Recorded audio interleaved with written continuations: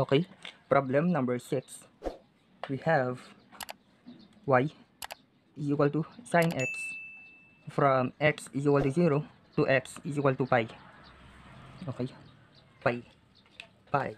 Remember the formula, area is equal to the integral of the upper limit b and lower limit a, y dx.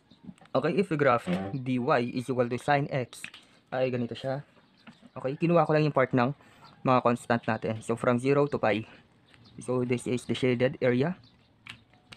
So, ayun. And then, substitution. Area is equal to the integral of, okay, sine x dx with upper limit pi and lower limit 0.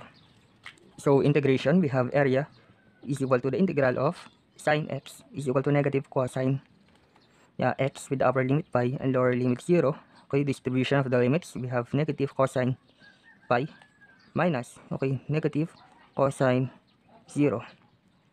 So, area is equal to negative cosine pi, okay, plus cosine 0. Okay, remember that the cosine 0 is equal to 1. Okay, so, negative cosine pi, okay, cosine pi is equal to negative 1. So, magtataka kayo, bakit negative 1? Let's try this one. Kailangan nakarad yung calculator nyo. Okay, to make it rad, minu, angle, and the radians.